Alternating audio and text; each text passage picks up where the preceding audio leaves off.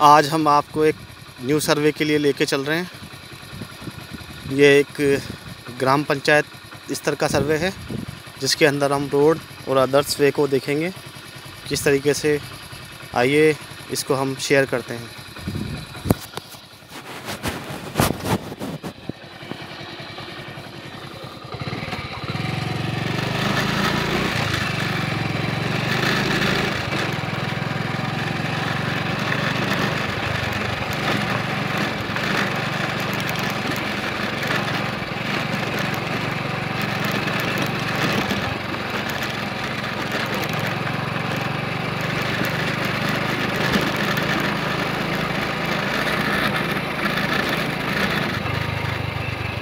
यहाँ की सड़क पुराने विधानसभा क्षेत्र से अब नया विधानसभा क्षेत्र आ गया है।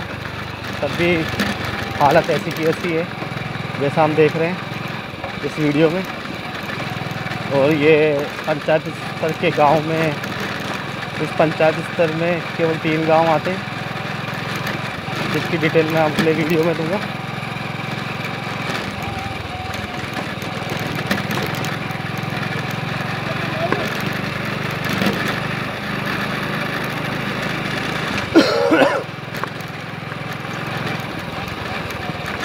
ये अभी मार्च का महीना है और आज 10 मार्च हो चुकी है।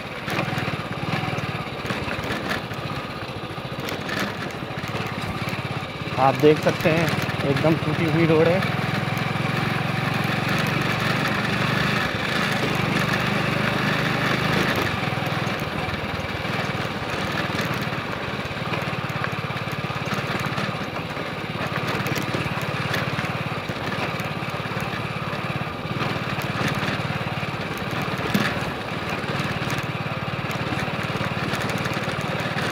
यहाँ कुछ समाज के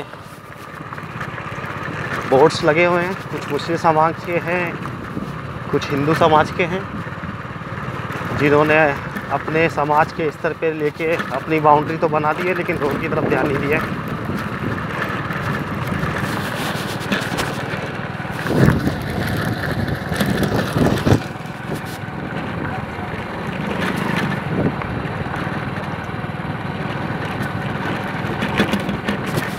यही देश की विडंबना रही है कि धार्मिक चीज़ों को जल्दी से पैसा खर्च करके निर्माण के प्रसंग में जोड़ दिया जाता है। जबकि तीन गाँव हैं या चार गाँव हैं तो यहाँ केवल मुश्किल से दो या चार मंदिर होने चाहिए, जिन पर पैसा लगाया जाए सही ढंग से। लेकिन यहाँ पैसा रोड की बजाय धार्मिक चीज़ों पर ज़्यादा लगाया जा रहा है, जो आप देख सकते हैं इस वीडियो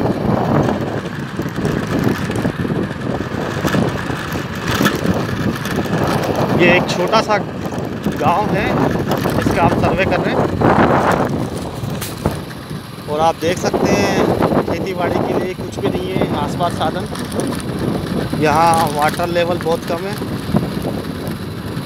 और यहाँ दो ही फ़सलें ली जाती हैं, रबी और खरीफ छः छः महीने के अंतराल में। एक तो बारिश से होती है, दूसरा इन्होंने वाटर पॉइंट बना रखे हैं।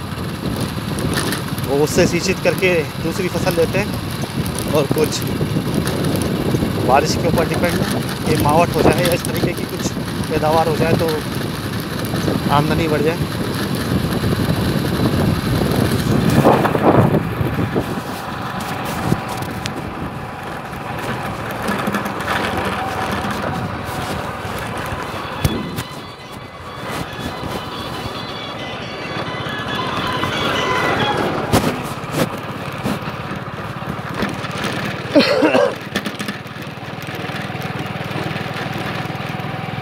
आप देख रहे हैं, करीबन मैं एक किलोमीटर चल चुका हूँ, लेकिन रोड की हालत ऐसी की ऐसी है।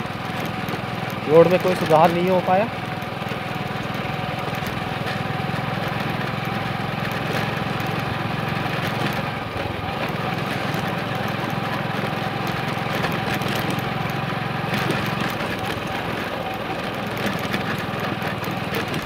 यहाँ के ठेकेदार ज़्यादा मुनाफे के चक्कर में रोड को भी कम और सही डेवलप नहीं कर पाते हैं। ये बहुत बड़ी देश की विडम्बना कह दो या ग्राम की विडम्बना कह दो या गाँव का अज्ञानतावश या पढ़े लिखे ना होने के कारण ये चीज़ें होती हैं।